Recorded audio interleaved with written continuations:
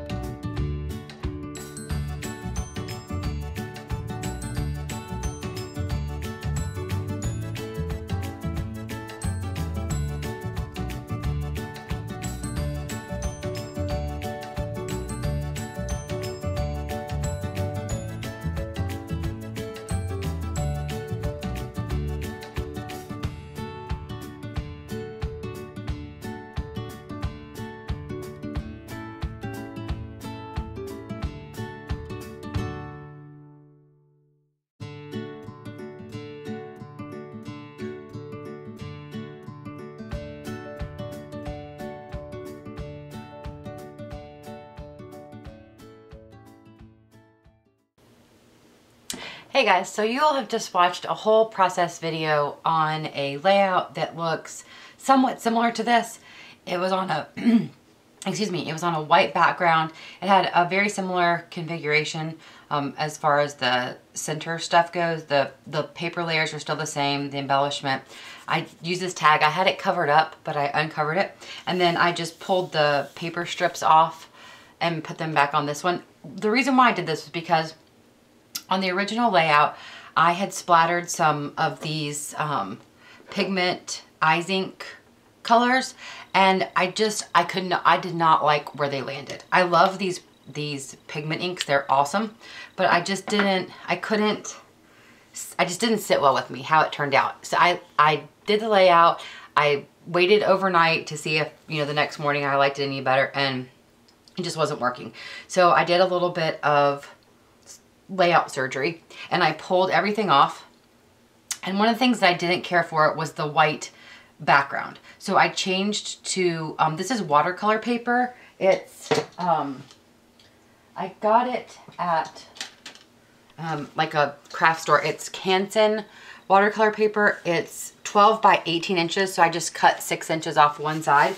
And the reason why I use it a lot for backgrounds is because I love the color of it. It's like a, it's not super off-white and it's not very yellow, which is what I like in an off-white or cream paper. So I did that. I took the tag off of here and let just let this tag show and then I added this wood veneer tag and I used a little bit of this gray and white twine. Added a little wood veneer in the top corner that says joy. I moved, this was over here, I moved it over here. I added this flair button and then I changed the, I was, I had the title over here and I didn't care for that and it was too much writing I thought. So I just added in the gray um, Elle's Studio um, stickers. It says Christmas 2012 now I didn't film myself doing this reconstruction so that's why I'm just talking to you in real time.